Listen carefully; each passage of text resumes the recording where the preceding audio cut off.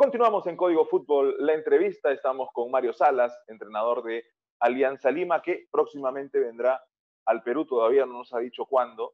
Eh, es un proceso que están trabajando también eh, la gente de la administración de Alianza Lima, los encargados, para que, para que tanto Mario Salas como su comando técnico puedan estar eh, ya en Lima para poder proceder al trabajo. esa noticia, imagino que, que, fue la que, la que puso más feliz a todos, esa noticia de la medida de poder comenzar otra vez con, el tema de los entrenamientos, primero individuales, luego colectivos y luego la competencia eh, en unos días más.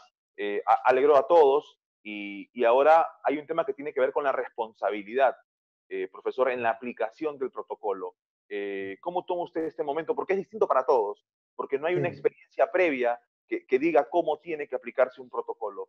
De hecho, es una normalidad distinta la que vamos a vivir a partir de unos días cuando puedan eh, comenzar los entrenamientos.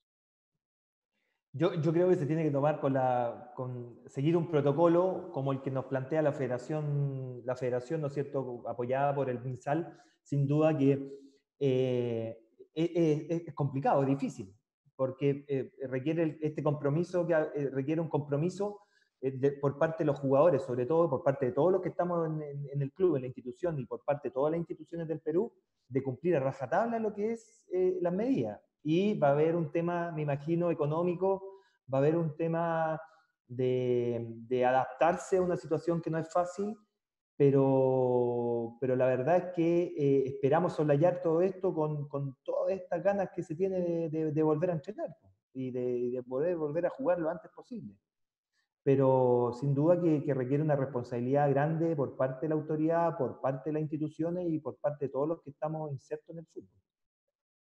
¿Cómo, andan en la cuestión de los tiempos? Los tiempos de, su comando técnico, hablando de eh, que el futbolista vuelva a la cancha a entrenar y luego pueda venir la competencia. ¿Ustedes sienten que eh, finales de julio, inicios de agosto, es el tiempo correcto para que, para que puedan ponerse a punto? Sí, sí, se inicia el 22 de junio, ¿no es cierto?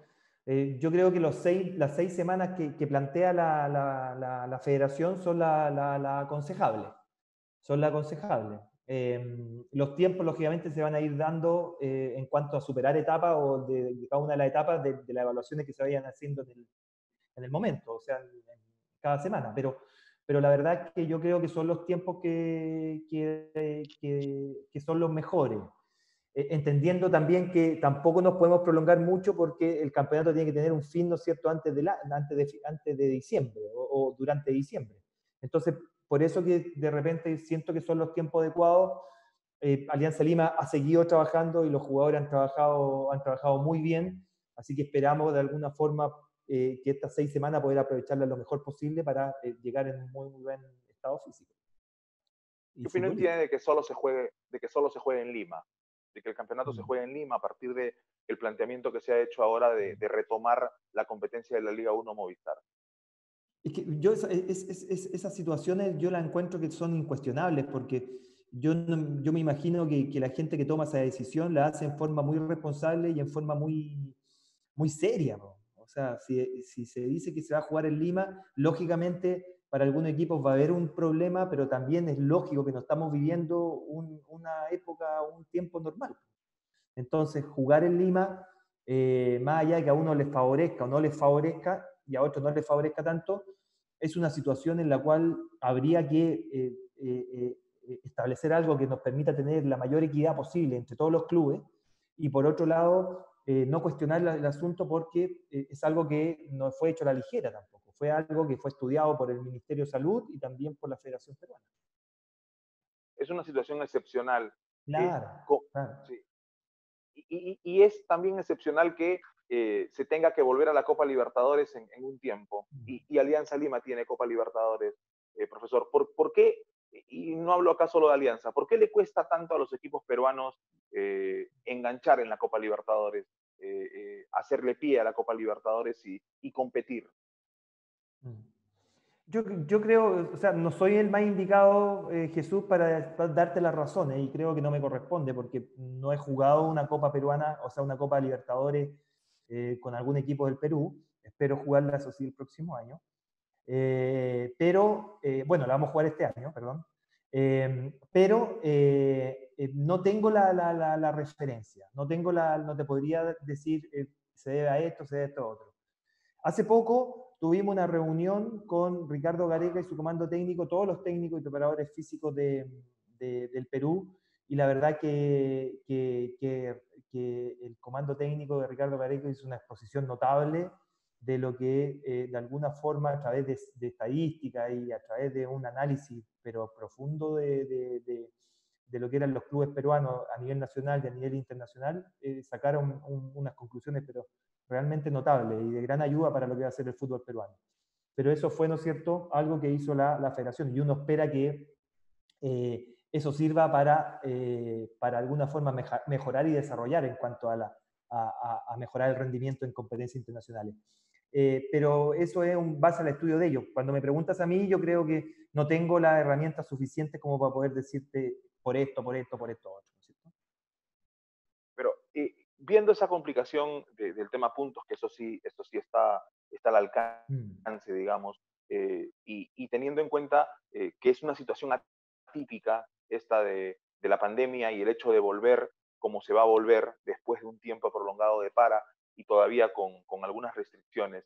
Eh, ¿Se puede seguir peleando en la Copa? Sí, sí, sí, sí. A ver, yo creo que el bichito de la competencia y el bichito del, del, del triunfo no nos quita nadie, o sea, no, nadie lo quita. Nosotros tenemos la idea de seguir luchando en el campeonato nacional y, de, por, por, la apertura y de seguir eh, eh, por la Copa Libertadores, sin duda.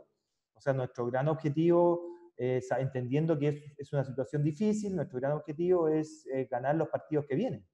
Y para eso hay que trabajar y para eso hay que eh, mentalizarse y para eso hay que tener un compromiso total, total, porque no es fácil. Por eso ya hablábamos, ¿no es cierto?, una de las primeras preguntas que me hiciste de, del tema de la disciplina y el tema del, del compromiso es, esto. O sea, si realmente queremos llevar Alianza a los mejores lugares a nivel nacional, del campeonato de apertura, que es el más cercano, y en Copa Libertadores, bueno, tenemos que comprometernos todos. O sea, aquí no, no, no basta de la, de la, boca para afuera, aquí, aquí hay un tema de, de, comprometernos en actitud y de tener una actitud para ganar. Yo, todo el mundo dice que quiere ganar, todo el mundo dice que quiere clasificar en la Copa Libertadores y ser campeón del mundo, pero bueno, ¿quiénes son realmente los que hacen lo suficiente y tienen el talento y la capacidad suficiente como para hacerlo? Entonces, eh, lo primero, ¿no es cierto?, es un, es un compromiso. Lo primero es ser coherente. O sea, sí, la idea nuestra es ganar todos los partidos que vienen, sin duda, ojalá se pueda, va a ser difícil, pero, pero, pero esa es la idea. Ahora, yo me juego por esa idea porque yo tengo confianza y, certeza absoluta de que voy a hacer todo lo, de que vamos a hacer todo lo posible por ganar. La verdad, todo lo posible por ganar. Bueno, ahora el compromiso no es solamente mío, sino que también de toda la institución, de la institución, ¿no es cierto?, dirigente y también de los jugadores. Profesor, eh, ¿ha tenido en cuenta la opción de solicitar a la administración algún refuerzo para Alianza o, es el plantel que tienen con el plantel que se va a trabajar eh, hasta, hasta que termine la apertura, cuando menos? Estamos viendo esa situación, Jesús, porque responde también a cosas legales. Apertura libre de pase, eh, hay, hay, hay, un tema ahí con, con, con, la federación porque se va a jugar en la apertura, ¿no es cierto? La apertura termina en los primeros días de octubre y el libro de pase me parece que es julio-agosto, entonces eh, eh, no tiene relación con, con eso, eh, si se prolongan los contratos de los jugadores que terminaban ahora en junio, si los, conversar con los jugadores, o sea, hay una serie de cosas que son más administrativas que todavía no están claras. Entonces, una vez que tengamos eso claro, lógicamente aspiraremos a evaluar y lógicamente ver después de esa evaluación si es, si es posible o no traer a alguien hemos hablado de, lo que, de lo que quiere la hinchada de Alianza, de, la forma de jugar y eso, y, usted ha sido muy claro. Eh, e, en, esa relación con el hincha, que no se va a dar en el estadio porque, porque, porque se va a jugar sin público, en principio, por medidas de, protección para, la gente y para, los actores de la Liga 1 Movistar 2020. Eh, ¿cuánto, ¿Cuánto siente usted que, que pesan estas acciones que está tomando Alianza de manera social, de, llevar víveres a los más necesitados, de, emprender también esta campaña de conciencia para donación de sangre y, estas acciones que está realizando eh, con el plantel de jugadores este, Alianza Lima, de jugadores y de jugadoras de voleibol también, Alianza Lima en su conjunto? Bueno, a, mí me parece espectacular, porque en el fondo Alianza Lima es pueblo, y el pueblo necesita en este momento, la gente necesita en este momento, la gente que tiene eh, más precariedad, ¿no es cierto?, necesita en este momento tener la, la, ayuda de, de, su club. Y tanto, ¿no es cierto?, como tú lo dices, la donación de sangre, la, donación de víveres eh, a pueblos vulnerables, estas campañas que han habido a favor del medio ambiente, de las lenguas originarias del Perú, todo eso que ha hecho Alianza demuestra lo que es Alianza Lima, que en un momento difícil que, que, que, la gente ha necesitado a, a, su club, bueno, el club tiene que estar, si de eso se trata. Eh, la gente ha estado con el club en momentos difíciles, bueno, esta es una vuelta de mano, la verdad, esta es una vuelta de mano. Y todo lo que ha hecho Alianza Lima me parece muy, muy loable y, y, muy imitable. Ojalá, mm, ojalá esta, esta, idea, ¿no es cierto? Y este espíritu de cooperación, de solidaridad, eh, se permanezca no solamente en una situación como la pandemia, sino que durante toda la vida. Eh, profesor, se ha conversado con, con varios técnicos sobre, sobre el tema de, del, ritmo o, del, o, de la intensidad con la que se juega el fútbol peruano. Eh, y, muchas veces los detalles entraban a, que no se puede sostener eh, lo mismo que se sostiene en, Lima o en el llano, eh, en, altura, por ejemplo, ¿no? Y que, y que, eso a veces afectaba un poco cuando se llegaba a torneos internacionales o cuando de repente algún jugador podía llegar a la selección. esto, esto de jugar en Lima favorece a, esa situación. Eh, podemos esperar, de repente no, no en el corto plazo, no en, las primeras jornadas que, de retorno de la Liga 1 Movistar 2020, sino cuando ya hayan tomado ritmo, le hayan hecho pie al campeonato. ¿Se puede esperar que, que haya un ritmo más sostenido, digamos, en las fechas finales de repente, en el torneo clausura? Sí, bueno, yo, creo, Jesús, que va a ser lógico que al comienzo los ritmos de, juego sean menores, porque lógicamente se viene una para que nunca ha sido así, o sea, los jugadores generalmente tienen vacaciones y es la para más larga que tienen de un mes. Ahora las paras han sido tremendas y, los tiempos de preparación son los mismos tiempos para un mes.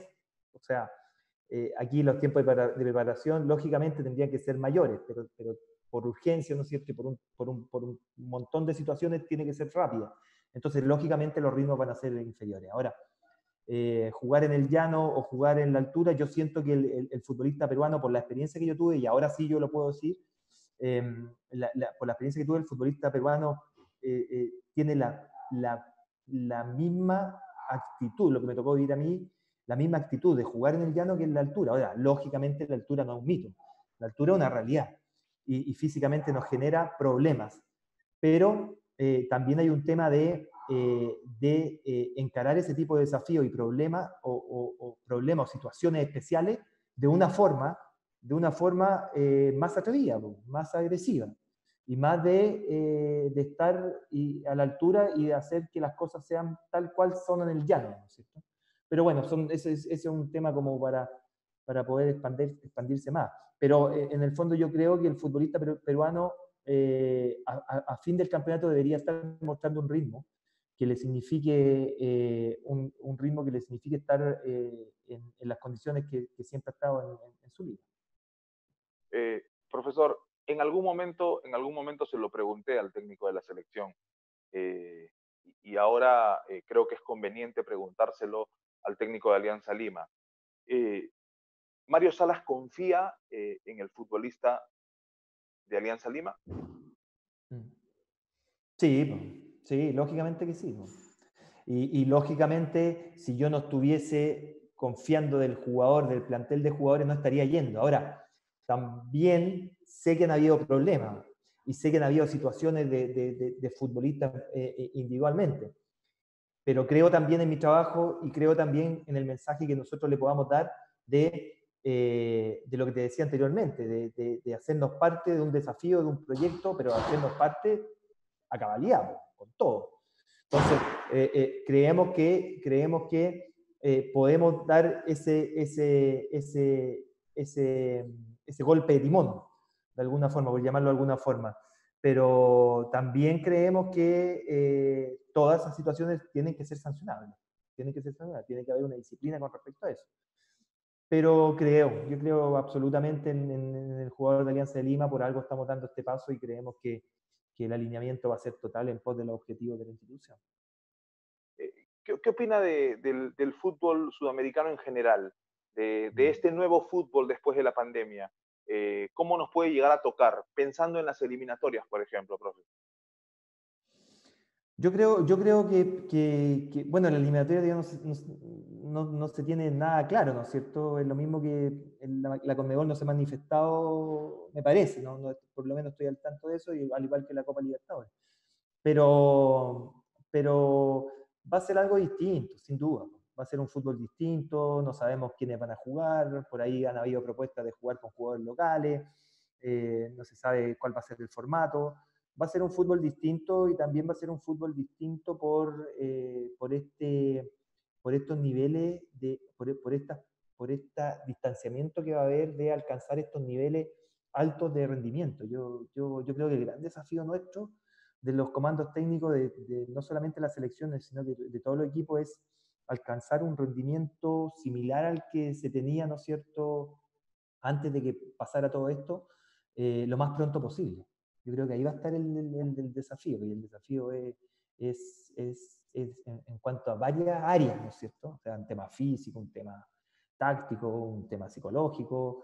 Eh, el, fútbol no se puede dividir, pero sin duda que van a, tenemos que estar muy, muy unidos para lograr, ¿no es cierto?, ese, ese rendimiento notable lo antes posible, porque aparte van a ser cuatro, cuatro meses de, de, de, juego.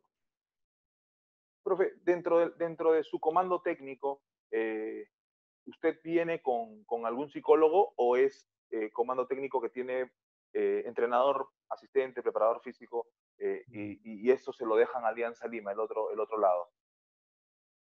No, nosotros andamos con un preparador físico, con José Mena, pero, pero Alianza Lima también tiene. Vamos a trabajar en forma conjunta, con nuestro preparador, con nuestro psicólogo deportivo y con el staff de psicólogos que tiene Alianza Lima. Va a ser un trabajo notable. Yo creo, yo tengo mucha, mucha fe de que, sea un gran trabajo, no solamente a nivel profesional del, equipo profesional, sino que también a nivel formativo.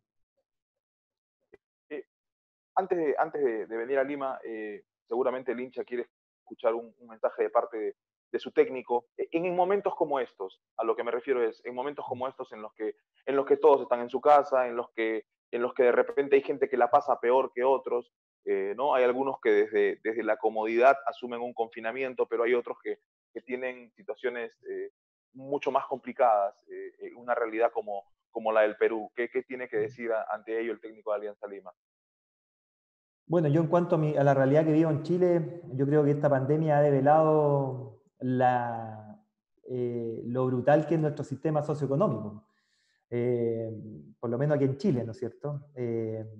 Eh, de alguna forma nos muestra las desigualdades que hay en nuestra sociedad y que de alguna forma hablar de cuarentena a un sector de nuestra población significa eh, algo imposible de hacer. Porque mucho, mucha la gente que tiene este trabajo del día a día, este trabajo informal, y me imagino que es mucho en Perú. Entonces, eh, realmente nos ha develado, nos ha mostrado que, que, una vez que pase esto, nuestro gran tema es hacer una sociedad mucho más justa y equitativa. Eh, en todo ámbito, en todo ámbito, salud, educación, eh, trabajo, todo, todo, en todo ámbito. Eh, y el mensaje a la gente de Alianza Lima es, sin duda, un mensaje de apoyo, un mensaje de, fuerza, un mensaje de, de, de estar luchando en el día a día, ¿no es cierto? La gente de Alianza Lima, sin duda, es la gente que, que, que, tiene que salir a trabajar todos los días, que, tiene, que, le cuesta mucho, ¿no es cierto?, mantener esta cuarentena, por lo tanto, eh, a cuidarse, ¿no es cierto? Por otro lado, a cuidarse, a seguir la, la, la, las normas que nos establece la autoridad y por el otro lado a, a, estar eh, eh, con mucha fe, con mucho optimismo de que esto va a pasar y de que sin duda ojalá que vengan tiempos mejores, ¿no? ¿verdad? Así que toda la fuerza, todo el cariño y todo el respeto por, por, por la gente de Alianza Lima. Muchas gracias, profesor. Eh, lo esperamos pronto en Lima, eh, todavía no nos dice cuándo, pero, lo esperamos en Lima para, para, ya que, para que ya puedan estar en contacto con los jugadores y, y, comenzar con los trabajos, ¿no? Que, todos esperamos se dé y se aplique el protocolo correctamente y, no se tenga inconvenientes. Sí, esperamos estar allá. Nosotros tenemos harta ganas de estar allá y esperamos irnos lo antes posible, sin duda. ¿Les han confirmado, eh, esto ya para, para, irnos, les han confirmado si es eh, en un vuelo humanitario o, hay la posibilidad de que puedan, de que puedan conseguir un, un servicio privado para, para que pueda venir a Lima? No sabemos nada. No sabemos nada, no estamos al tanto de, cómo va a ser el formato. Listo, profe. Muchas gracias. Que le vaya muy bien. Cuídense mucho. Saludos a todos por allá. Gracias. Estuvimos con Mario Salas, técnico de Alianza Lima en Código Fútbol, la entrevista por Gol Perú. Nos encontramos en cualquier momento. Que estén muy bien.